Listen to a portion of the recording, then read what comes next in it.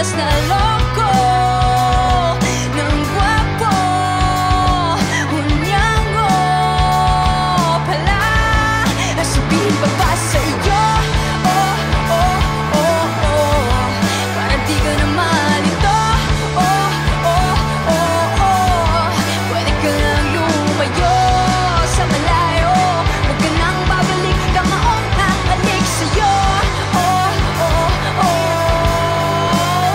Nalilito ka sa sarili Huwag ka nang magsabi